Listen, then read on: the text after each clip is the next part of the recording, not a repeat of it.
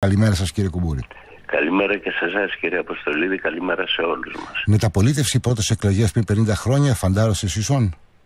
Ναι βεβαίως, ε, ε, ήμουν στρατιώτης, μόλις είχα στρατευτεί αμέσως μετά με την πτώση της Χούντας και ήταν μια διαδικασία όλη αυτή που με βρήκε στο στρατό αλλά φυσικά ε, όλη η διαδικασία αυτή τι είχε το ενδιαφέρον της ήταν μετά την πτώση της Χούντας και την ε, ε, ιστορία όλη που αναφέρατε με την δημιουργία κομμάτων και κυρίως βεβαίως με την νομιμοποίηση του ΚΚΕ και άλλων κομμάτων τότε τα οποία δεν λειτουργούσαν αλλά φυσικά θα έλεγα ότι η νομιμοποίηση του ΚΚΕ έγινε με έναν τρόπο ε, πώς το λένε, ε, όχι με τον νόμο.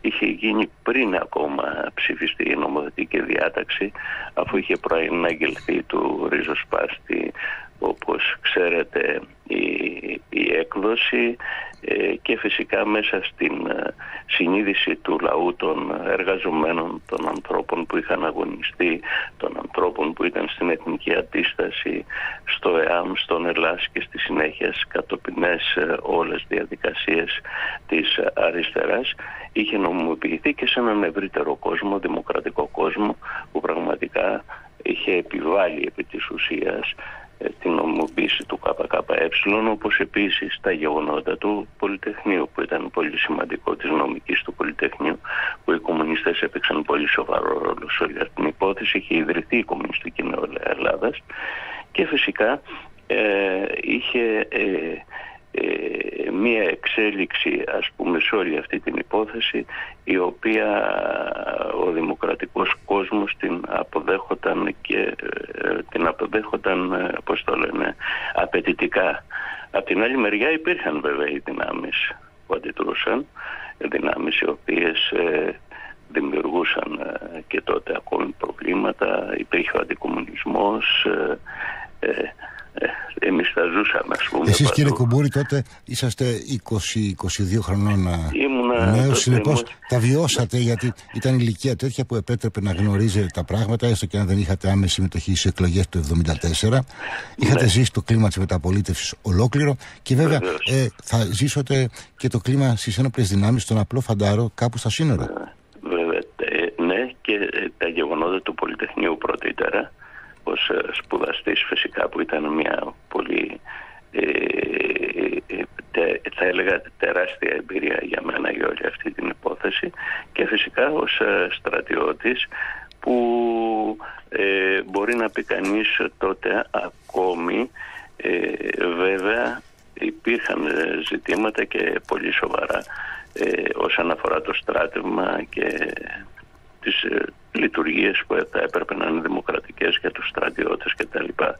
Ακόμα οι απαγορεύσεις έβλεπες στις ε, ταμπέλες ο κομμουνισμός εκτός της πατρίδας και όλα εκείνα που ζούσαμε και που είχαν ζήσει οι παλιότεροι. Κύριε Κουμπούρη, ε, πριν σε ευχαριστήσω, θέλω να παρακαλέσω το εξής. Το ίδιο ερώτημα έθεσα και στους συνομιλητές με στις ηχογραφημένες συνομιλίες και με εσάς.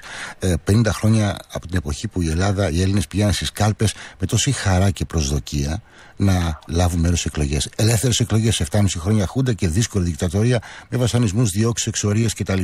Και φτάσαμε την ώρα, την ώρα της κάλπης. Με τα κόμματα και τον νέο σχηματισμό έχει περάσει μισός αιώνας και πέντε δεκαετίες αργότερα ένα 60% των Ελλήνων δεν καταδέχεται, δεν σηκώνεται να πάει στην κάλπη για οποιοδήποτε κόμμα. Ναι, ξέρετε ότι όλη αυτή η υπόθεση της αστικής δημοκρατίας ε, είναι μια υπόθεση που το δημοκρατία, αν το λέει καλήνση γενικά και αόριστα, χάνει την ουσία και τη σημασία του. Εδώ πρόκειται για μια ταξική κοινωνία η οποία δημιουργεί μεγάλες αντιθέσεις και φυσικά δημιουργεί και ε, αγωνιστικές διαθέσεις αλλά δημιουργεί και ε, διαθέσεις απογοήτευσης και φυσικά υπάρχει κόσμος όπως είπατε προηγούμενα που απογοητεύεται από όλες αυτές τις διαδικασίες δηλαδή από κόμματα τα οποία άλλα διακηρύσουν όταν είναι στην αντιπολίτευση και άλλα κάνουν όταν έρχονται στην κυβέρνηση. Επίσης ε, είναι πολύ σημαντικό ότι τα κόμματα του ε, αστικού συστήματος, δηλαδή που υπηρετούν το αστικό σύστημα, ουσιαστικά είναι κόμματα που συμφωνούν. Ε, δεν λέω ότι είναι ίδια, αλλά συμφωνούν στη βασική στρατηγική τους επιλογή.